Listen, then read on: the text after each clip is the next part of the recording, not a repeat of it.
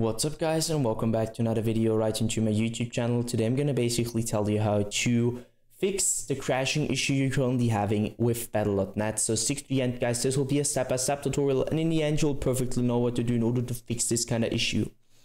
Before we start right into the video, I just want to you guys know or let you guys know that I would really really appreciate it if you would just leave a like, a comment or a subscription right into my YouTube channel. It would really make my day and help me out as a little YouTuber as I am.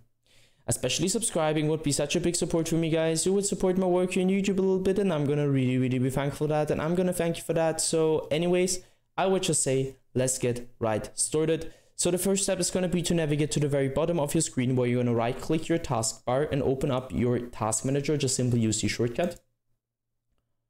Once you're there, I want you to navigate to the top left corner of your screen where you're going to click into processes just to ensure that you're sticking around it. Afterwards, I know it's going to sound weird guys, but trust me, it will help you a lot. I want you to end every single task, which has obviously nothing to do with Windows. So let me explain that. Too many applications, too many programs, too many games, whatever, running at the same time on a PC or, a bad PC will cause crashing um, and you're avoiding this issue by just ending every single task. The second reason is like there, like it was for me, there are some applications or background processes, don't ask me why, which are currently third partying your launcher, causing it to crash or to freeze in some way. So you're avoiding also this issue by just ending every single task and you're helping a lot of that. So once you're finished, I want you to end the task manager and simply take your battle.net launcher. You're going to right click it and go to the very bottom where it says properties.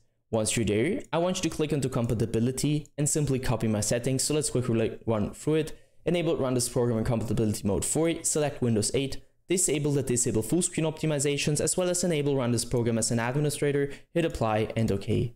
I would personally recommend to restart your PC afterwards and once it is restored, you should be able to see this little administrator symbol right on your shortcut. This um, yeah, you just need to start it afterwards and this will fix your issue. Yeah, guys, that's it for the video. I hope that I could actually help you out of this one. If it was like that, just leave a like, a comment, or a subscription. I'm gonna really be thankful for that. Yeah, guys, I'm really sorry if I couldn't help you, but I'm just trying to do my best in order to help you out. Either way, I hope you guys have a wonderful day. See you at the next one, and bye.